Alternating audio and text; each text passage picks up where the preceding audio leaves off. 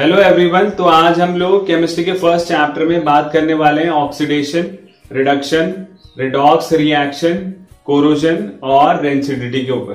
तो सबसे पहले बात करते हैं ऑक्सीडेशन की।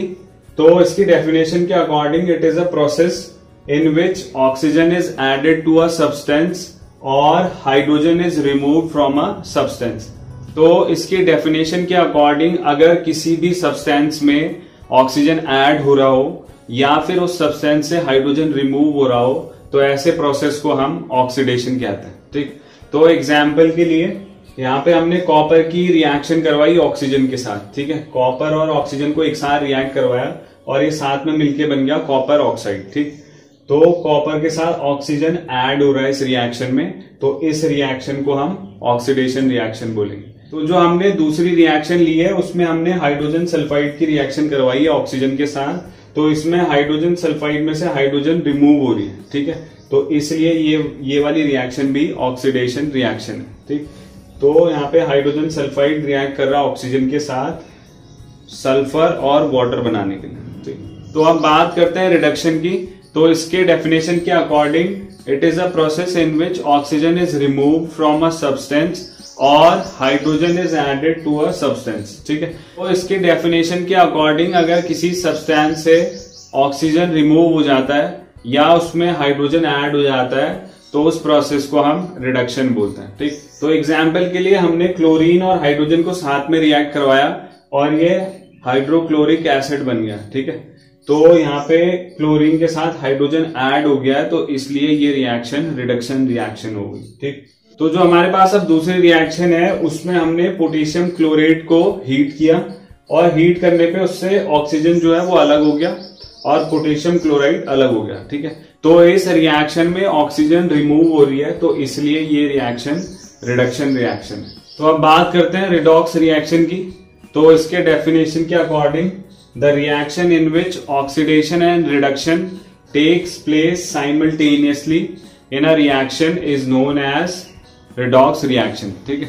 तो कोई भी ऐसी रिएक्शन जिसमें ऑक्सीडेशन और रिडक्शन एक साथ हो रहा हो, एक ही रिएक्शन में, उस रिएक्शन को हम रिडॉक्स रिएक्शन कहते हैं। तो अगर एग्ज़ाम्पल के लिए हम यहाँ पे देखें तो कॉपर ऑक्साइड और हाइड्रोजन की हमने रिएक्शन करवाई और हमें मिला कॉपर और वाटर तो यहाँ पे कॉपर ऑक्साइड चेंज हुआ कॉपर में तो ये रिडक्शन हुआ क्योंकि इसमें से ऑक्सीजन रिमूव हो गई, ठीक? और हाइड्रोजन चेंज हुआ वाटर में, क्योंकि इसमें ऑक्सीजन ऐड हो गई है तो इसका हो गया ऑक्सीडेशन ठीक? वो ऐसी रिएक्शन को हम रिडॉक्स रिएक्शन बोलते हैं। अब बात करते हैं कोरोजन की तो इसके डेफिनेशन के according it is the process in which metals are slowly eaten away by the reaction of air water moisture and chemicals present in the atmosphere ठीक?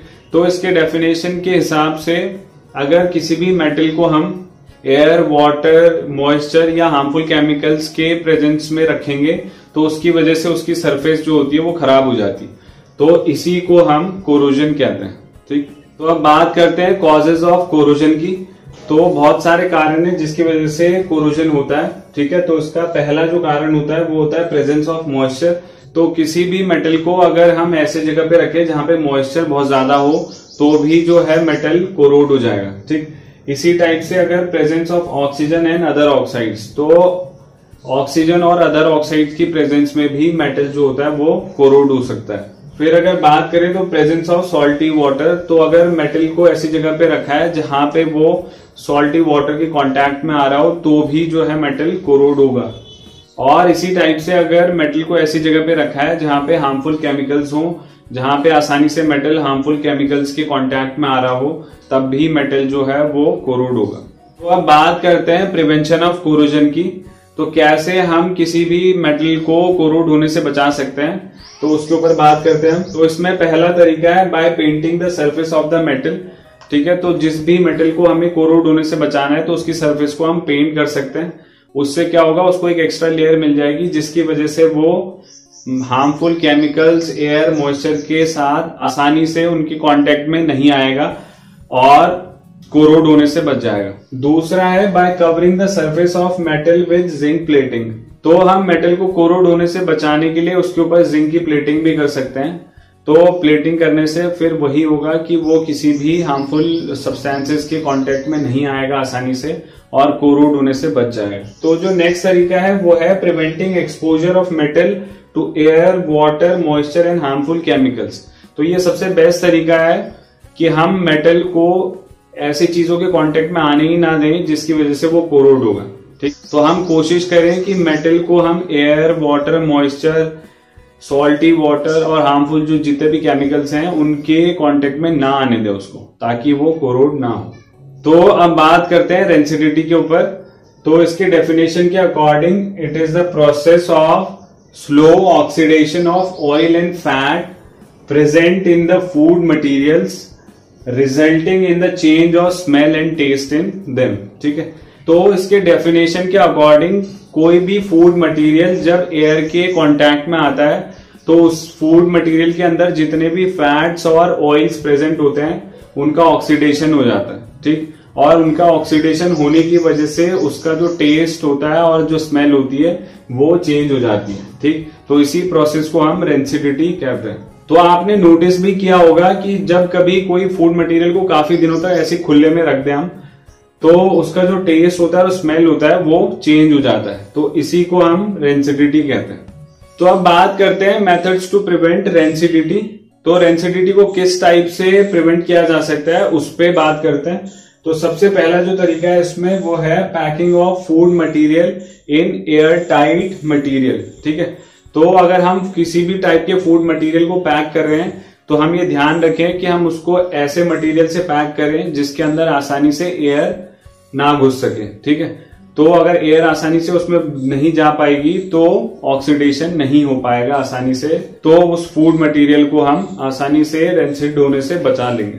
दूसरा तरीका है storing cooked food at low temperature तो अगर हम cooked food material को store करना चाहते हैं तो हम उसको लो टेम्परेचर पे हमेशा स्टोर करें, ठीक है?